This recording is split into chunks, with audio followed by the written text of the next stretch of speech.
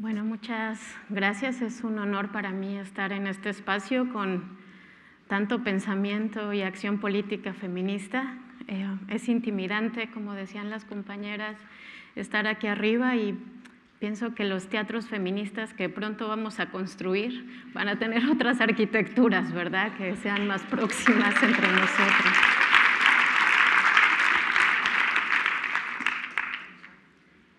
Bueno, es un poco difícil iniciar esta presentación porque quiero hablar de lo que está pasando ahora con una compañera nuestra, con una compañera cercana de nuestras luchas en México, la compañera Optilia Eugenio, que huyendo de amenazas de muerte que había recibido, salió de una comunidad de la montaña de Guerrero, México, este 12 de febrero y desde entonces está desaparecida.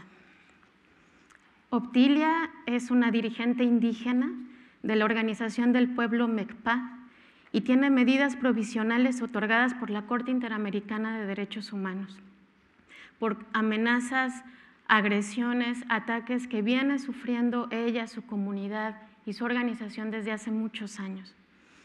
Optilia eh, y su organización han puesto en el centro la denuncia de la violencia, la terrible violencia militar que hay en, el sur del país.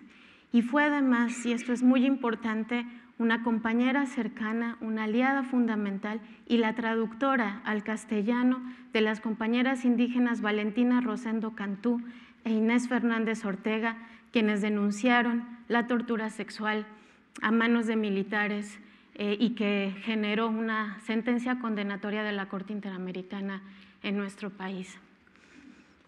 Em, esta es la realidad de la que voy a hablar en, en, esta ocasión. Es la realidad que estamos viviendo no solo en México, sino en muchas partes del mundo, donde compañeras cercanas, compañeras de lucha, nuestras compañeras, están siendo asesinadas, desaparecidas, difamadas y criminalizadas por atreverse a alzar la voz. En el 2018 se celebró el 20 aniversario de la Declaración de Naciones Unidas sobre Defensores y Defensoras de Derechos Humanos, una declaración que reconoce el derecho inalienable de defender activamente, proteger eh, y luchar por los derechos humanos. El año pasado también se celebró el quinto aniversario de la Resolución de Naciones Unidas sobre la protección de mujeres defensoras, que advierte justamente cómo la discriminación de género profundiza la violencia que sufrimos las mujeres eh, activistas defensoras de derechos humanos. A pesar de que contamos con un marco internacional de derechos que reconoce y protege a quienes luchamos por la justicia y la igualdad, en las últimas décadas se ha documentado el incremento de amenazas, ataques, asesinatos en contra de activistas, de organizaciones y de comunidades en resistencia. En 2018, al menos 321 personas defensoras de derechos humanos fueron asesinadas, según el último informe de Frontline Defenders. El 12% de estos asesinatos fueron en contra de mujeres activistas y el 77% contra activistas de comunidades que están luchando contra el extractivismo y defendiendo los bienes naturales de la naturaleza, los bienes comunes de todas. Si bien hay menos casos de mujeres defensoras asesinadas, eh, la experiencia, la evidencia y diversos informes que hemos construido nos permiten afirmar que la violencia en contra de las activistas tiene un impacto y gravedad mayor. Las defensoras de derechos humanos corremos más riesgo de que se use en nuestra contra la violencia sexual. Como ya se ha dicho aquí de distintas maneras, sabemos que la violencia sexual es un histórico método de represión política presente y casi constitutivo de las políticas represivas, tanto en los estados abiertamente autoritarios, pero también en los estados que se dicen democráticos. Enfrentamos, las mujeres activistas, procesos de criminalización atravesados por lo que ya eh, la compañera del panel anterior nos explicaba, ¿verdad? Esta profunda misoginia y sexismo de, los sistemas eh, eh, de justicia.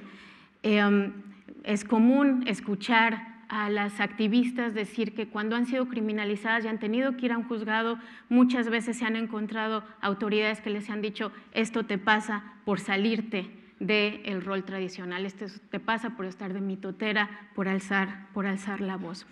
La criminalización que enfrentamos las mujeres también eh, genera un mayor cuestionamiento y abandono o falta de apoyo por parte de nuestras familias y comunidades cercanas. Cuando un defensor es encarcelado, siempre prácticamente va a haber una mujer, una familiar, una compañera de lucha que va a estar ahí exigiendo justicia.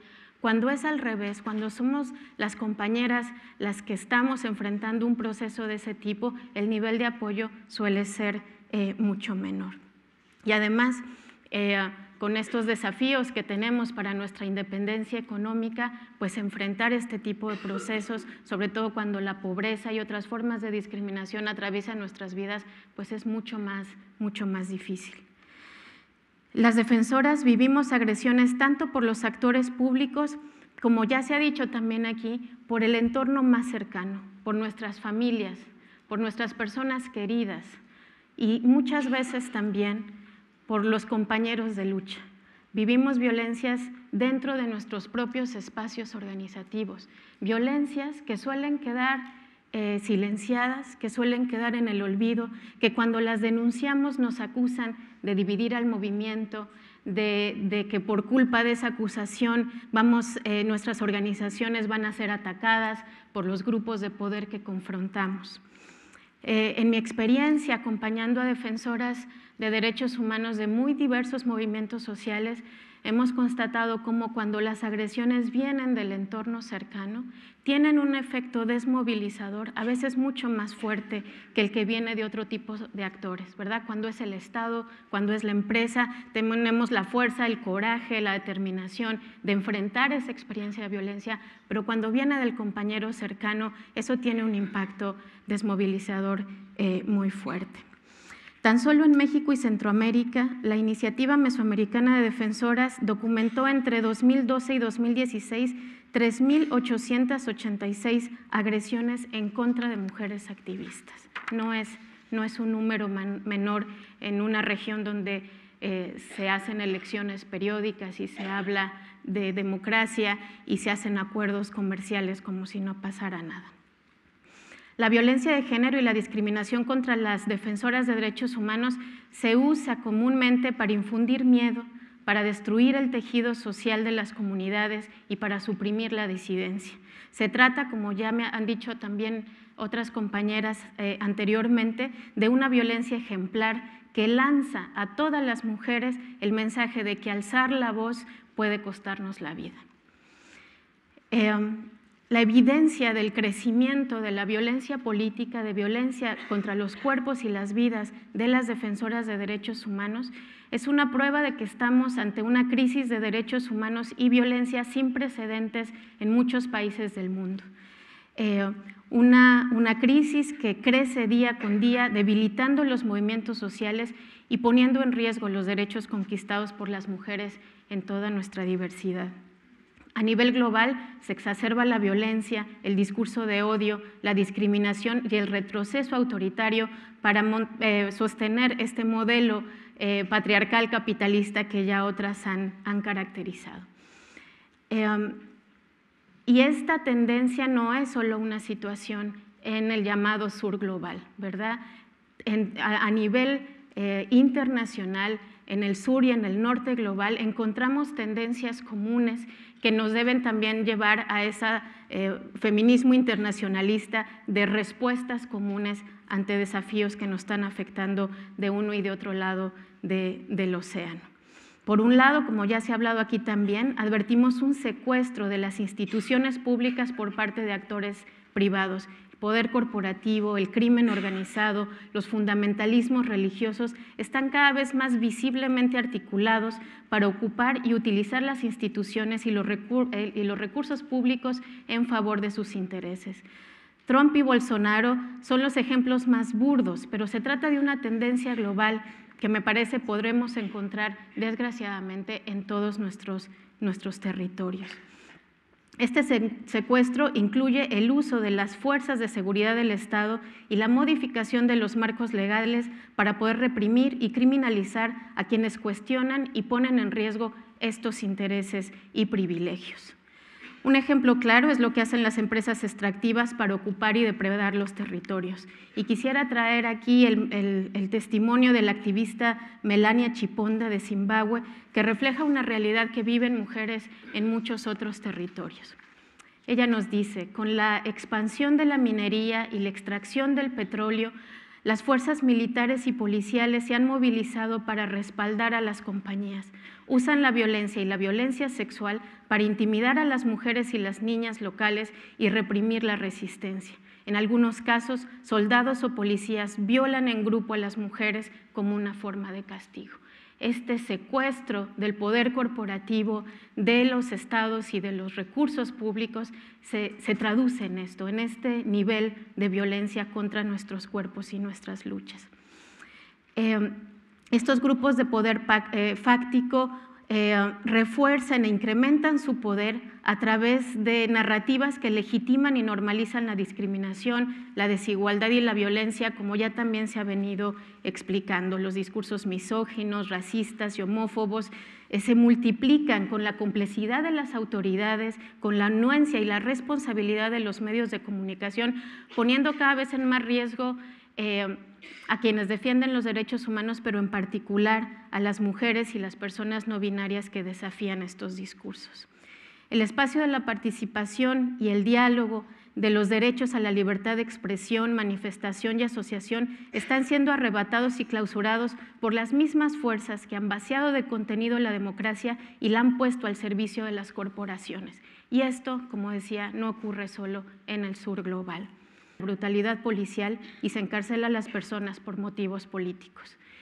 Y estas dinámicas que se encuentran también en estos territorios luego se exportan a nuestra región. leyes como la ley Mordaza, eh, um, tipos penales como el de apología del terrorismo, eh, constituyen eh, posteriormente eh, aquellas eh, modificaciones en nuestros marcos eh, regulatorios en América Latina. Y quiero poner un ejemplo muy claro para que entendamos la gravedad de esto, que fue la asesoría que el Estado español dio al gobierno hondureño, al Congreso hondureño, para su nuevo Código Penal, donde estas leyes como la ley Mordaza o la apología del terrorismo fueron eh, algunos de los elementos que se incorporaron en un código penal eh, mucho más restrictivo en uno de los países donde más violencia hay contra activistas y contra periodistas.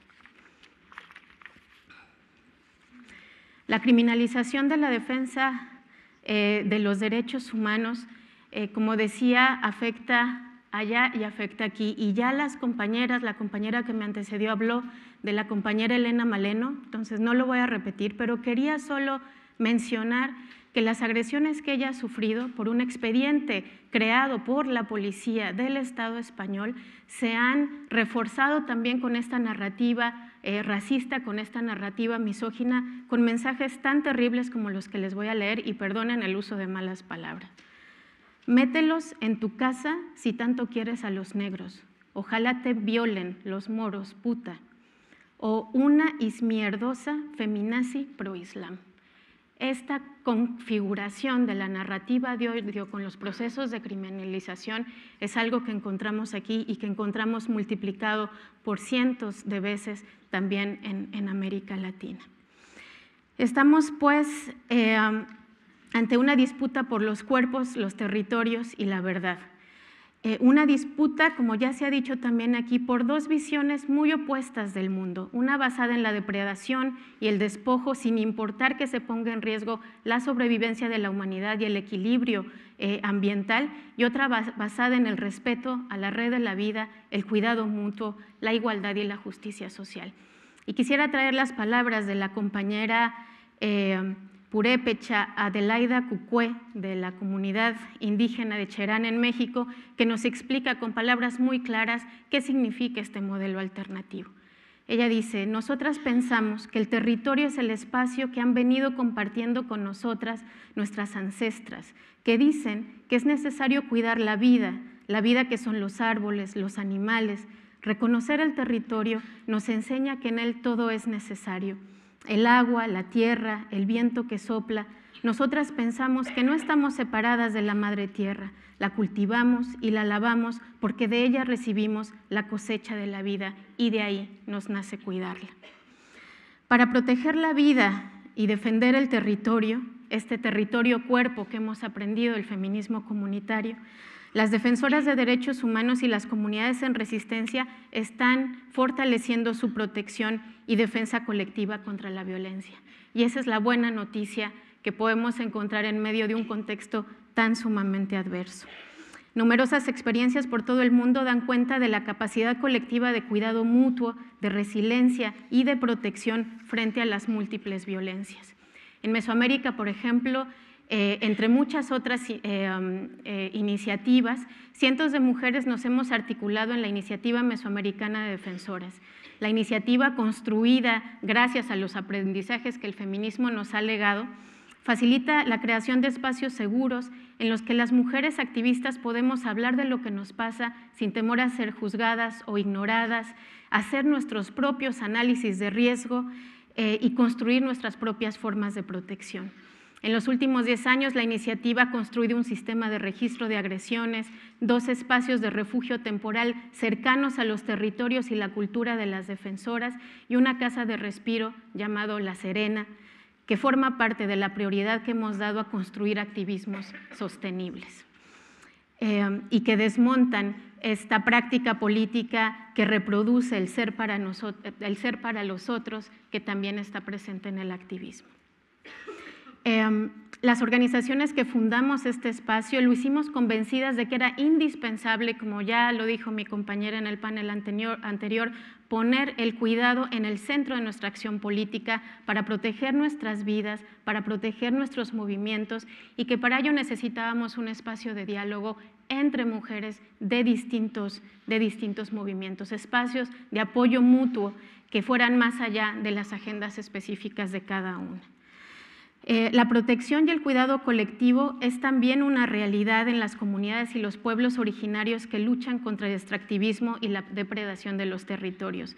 Particularmente, eh, las mujeres que están sosteniendo estas luchas de resistencia y que además cada vez adoptan un mayor protagonismo público, han desarrollado una serie de estrategias fundamentales para para entender y aprender qué significa la protección, la protección colectiva. Para ellas, la defensa del territorio y la defensa de los cuerpos y las vidas de las mujeres están profundamente conectados. Y quisiera traer las palabras de Lolita Chávez, que seguramente todas ustedes conocen porque pasó en el País Vasco, en el programa Vasco de Protección, eh, varios meses aquí, y nos dice palabras sabias como muchas de las que ella tiene que son, en las asambleas comunitarias decimos que estamos de acuerdo en que se declaren los territorios libres de empresas transnacionales. Del mismo modo, también queremos que estos mismos territorios se declaren libres de violencia contra las mujeres. Entonces, cada día estamos en la disputa por la recuperación de nuestros cuerpos. Mientras más cuerpos estén en la capacidad de la libre determinación, más mujeres nos encaminaremos hacia el buen vivir. Para protegerse, las mujeres de las comunidades en resistencia de los pueblos originarios están fortaleciendo su liderazgo y el reconocimiento comunitario y de sus propias organizaciones de este liderazgo. Están fortaleciendo los espacios de sanación colectiva entre mujeres y niñas para abordar las experiencias históricas y traumáticas de violencia eh, usando sus propios saberes, sus propias eh, ritualidades y cosmovisiones. Y están poniendo en práctica eh, acciones y formas seguras de resistencia y movilización. Con este panorama y estos aprendizajes que vienen de la protección colectiva, ¿cómo fortalecer una solidaridad internacional feminista que incremente la protección de las defensoras de derechos humanos y nuestros movimientos y comunidades? Primero que nada, reconociendo que la protección de activistas, organizaciones y comunidades en luchas debe ser un imperativo en el contexto actual que tendría que estar presente de manera transversal en todas nuestras agendas. La protección entendida no solo como acciones urgentes, atención de casos individuales o la asesoría de expertos, sino como un proceso colectivo de cuidado mutuo al interior de nuestras organizaciones y comunidades que fortalezca nuestro poder colectivo y erradique, y esto es muy importante, toda práctica discriminatoria dentro de nuestros espacios de lucha. Los hombres, los compañeros, deben dar un paso atrás en sus liderazgos tienen que cuestionar profundamente sus liderazgos con humildad y con compromiso sincero de cambio. La protección...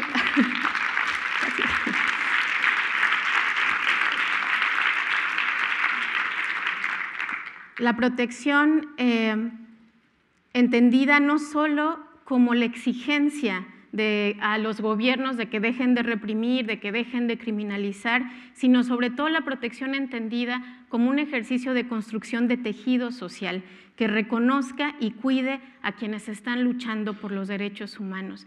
Eh, siempre cuento una anécdota de unas compañeras en Ciudad Juárez, eh, en un barrio terriblemente violento, donde estaba en riesgo que se violara la, la, secretividad del, del, refugio para mujeres víctimas de violencia que había, las compañeras alertaron a la comunidad de que venía un posible agresor eh, que era miembro de un grupo de crimen organizado y se creó una gran red de gentes alrededor del barrio que impidieron la entrada de esta persona. Estos tejidos protectores son mucho más efectivos que tener eh, muchos eh, mecanismos oficiales de protección que está bien, que se tienen que tener, que son una obligación de los estados, porque muchas veces en la práctica no protegen como, como deberían.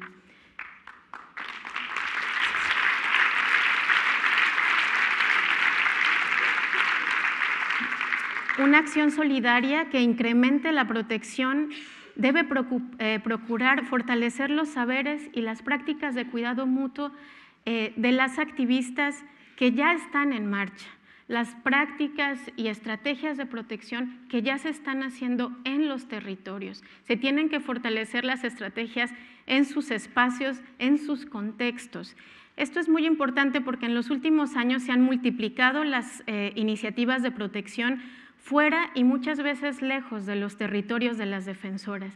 Estas iniciativas son muy importantes, pero debemos preguntarnos siempre en qué medida están fortaleciendo los procesos locales y la protección colectiva de las defensoras en sus propios territorios. Solidarizarnos con las defensoras significa ir más allá de expresar eh, indignación. Significa, y eso es algo que escuchamos de manera reiterada por muchas compañeras que están en la defensa del territorio, denunciar con mucho más fuerza a las empresas, muchas veces, muchas de ellas de capital europeo, que están provocando la violencia, o que denunciemos el silencio selectivo que los gobiernos aplican ante las violaciones de derechos humanos de unos países en función de sus intereses económicos. Significa también dejar de presentar a las activistas como heroínas que actúan de manera individual y significa dejar de resaltar el riesgo como un valor. Esta mirada individualizante y victimizadora de las defensoras en riesgo ha tenido un impacto bastante negativo en las prácticas de protección y ha generado tensiones al interior de las organizaciones eh, que lejos de fortalecer la protección la han, debilitado. Por eso necesitamos fortalecer las narrativas de poder y protección colectiva. Quiero invitarlas a sumarse a tres acciones concretas y con esto voy a, a terminar. A ver si entiendo cómo funciona esto. Ah, que tengo que prenderlo y apagarlo